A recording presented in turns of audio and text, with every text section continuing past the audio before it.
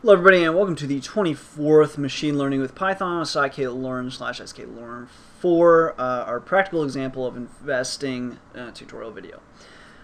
Where we left off, uh, we were kind of testing this against a forward poll of Yahoo. We were finding that, my goodness, we got a lot of suggestions here.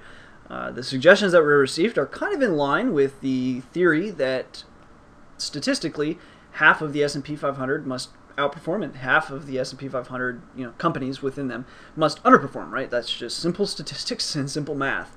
So that's okay but what if we wanted a smaller list and a slightly more secure list if, if, if we can get it right? We're just curious and we're gonna we, we're it's always good to test.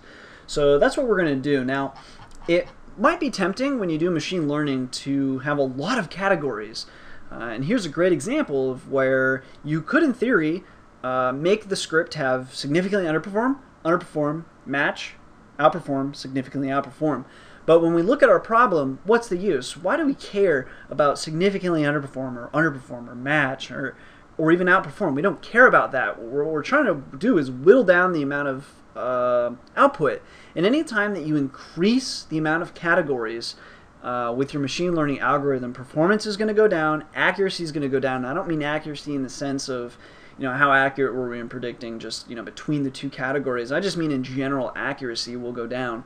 Uh, just performance and efficiency will, will decrease as well. So anyway, we want to avoid that when we can. And so looking at our problem, yeah, we could separate these into five groups or 10 groups or 50 groups, but nothing matters. But, but are we going to buy or are we going to sell?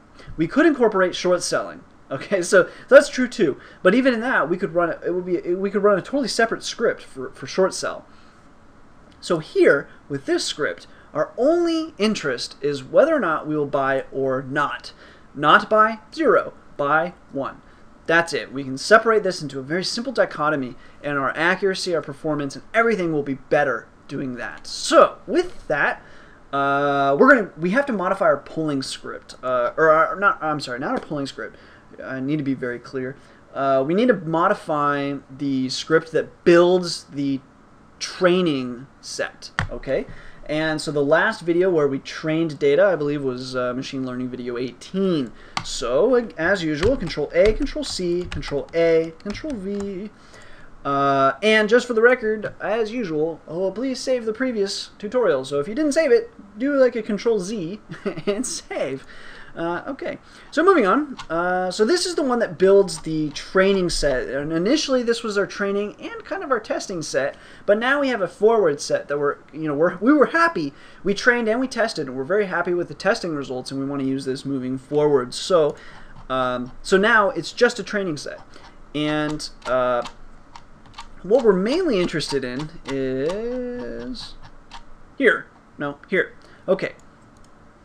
Um, we're interested in these two lines here. And, and, and what we're going to do now is if difference is greater than zero, instead of using these words, outperform or underperform, since we're changing kind of the logic here, we're just saying either we want to buy it or not, we're going to call this A1 and we will call this A0. Easy enough.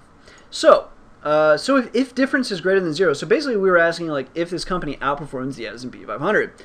Uh, now, what if we want we want to raise the standards? We're going to say um, if the difference is greater than 5%, so if this stock uh, outperforms the S&P 500 by 5%, now we're going to call that a winning stock. Okay, so that's our training. We're going to train this on significant outperforming stocks, right?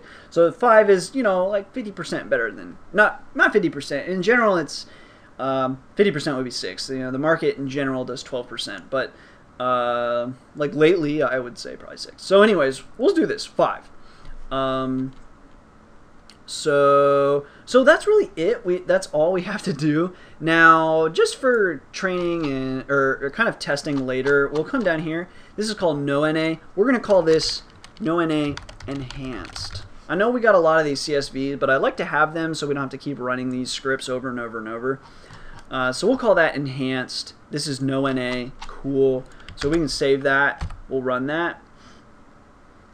And then you'll also want to do um, the same thing. So we'll, that's no NA. Then we'll have another one after this is done called with NA. And we allow up to 15. of them.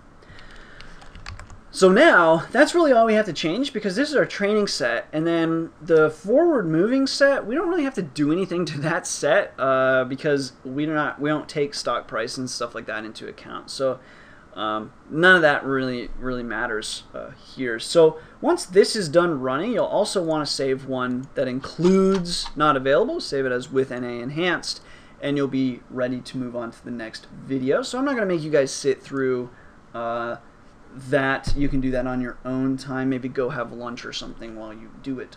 So anyways, uh, that's it for this video. Hopefully you guys enjoyed. If you have any questions or comments, uh, please feel free to leave them below. Otherwise, as always, thanks for watching. Thanks for all the support and subscriptions. And until next time.